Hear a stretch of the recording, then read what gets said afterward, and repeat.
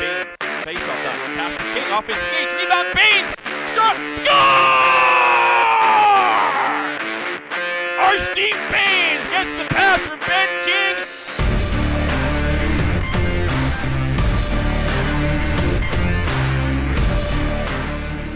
It's a new challenge for Steve Konowalchuk.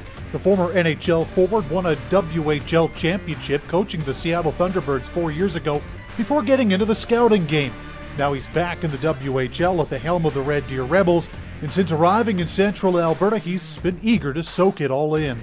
Well, I've had a lot of fun. I mean, as soon as uh, you know, as soon as I I got the position, I started getting back into the, the coaching mindset and uh, taking some of some of the stuff I've learned from scouting as well as my past in coaching, and and it was fun to, I guess, get the cobwebs off some of the drills and some of the different stuff that I like to do, and and, and that's exciting. And since I've got here, it's been it, it's been fun to just be consumed. Part of his new role in Red Deer, getting to know the talent he gets to work with. But Konowalchuk isn't interested in overcomplicating things. You, you come out, you, you want to learn their habits, their skill sets, and you know, and they're trying to teach them my expectations and uh, you know whatever whatever the systems may be. And you know, hockey's not very very complicated. Most coaches have very similar hockey system type stuff, and that's no different here. You know, but but you know, the way you coach it, the way you teach it, the way you run practice, obviously, be a different feel. And so they're they're learning what my expectations are, and I'm learning them as well.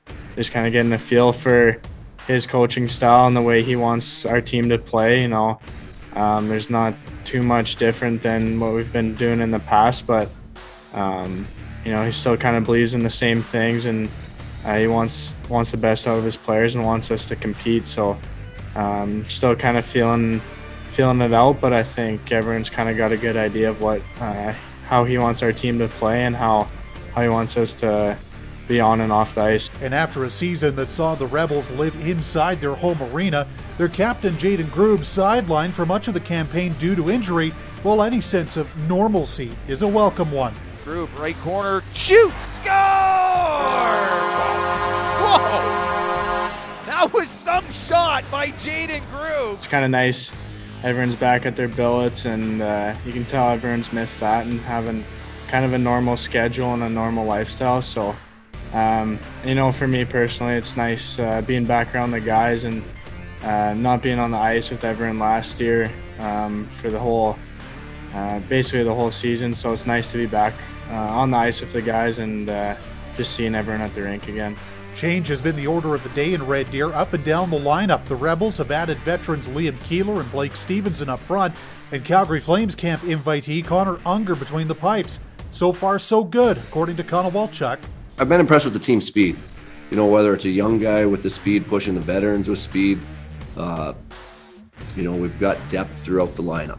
You know that we can we can challenge guys. You know, if guys aren't going a certain game, you can you can uh, make make some changes within a game with guys that are going. So I, I, like the depth. I like the team speed. Looks like a pretty exciting group from what we've seen so far in camp and playing with some different guys. So uh, I think just our depth up front will be uh, a big thing for us, and uh, it's looking pretty good on that end. And then even on the uh, defensive side there, getting uh, Sedoff back will be huge, and having him back in the on the D there will be a big thing for our team, but also uh, to help those younger D-men out for sure. But those younger D-men come with high ceilings. Six selected in the first or second rounds of WHL drafts. Kyle Masters was selected by Minnesota this summer.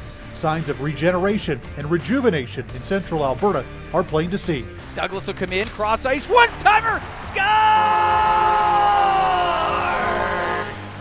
Kyle Masters with a one timer. That's a power play goal, and the Rebels are up 4 2.